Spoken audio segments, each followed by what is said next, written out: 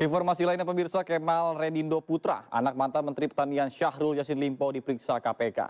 Saat mendatangi gedung KPK, Kemal juga menyerahkan sebuah minibus mewah Velfire kepada KPK.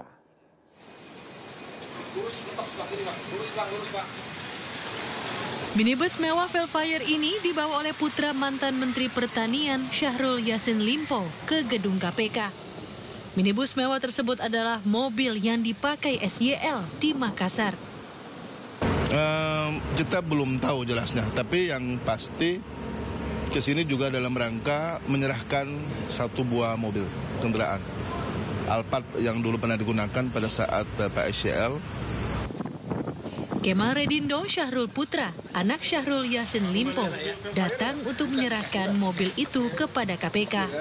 Namun nomor polisi mobil tersebut setelah diperiksa ternyata tidak sesuai dengan data kepolisian. Cukup cukup singkat ya, cukup singkat seperti itu.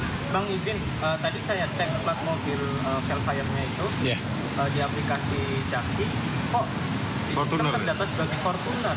Iya, memang itu kan uh, mobil keluarga gitu di pe- penanggung jawab Yang pengisian. disewa bukannya Alphard ya, bukan Velfire. Oh. Yang Velfire. Nah itu dia yang kita bingung kemarin karena disebutnya Alphard kita nggak pernah sewa Alphard.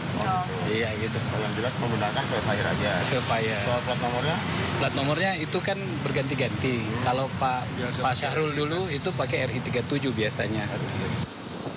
Kemal mengaku tidak pernah menggunakan mobil tersebut. Mobil sewaan tersebut digunakan oleh Syahrul Yassin Limpo jika berada di Makassar.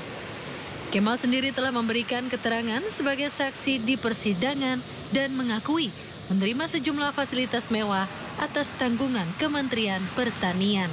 Dari Jakarta, Ayanufus, Bagus Prasetya Adi melaporkan.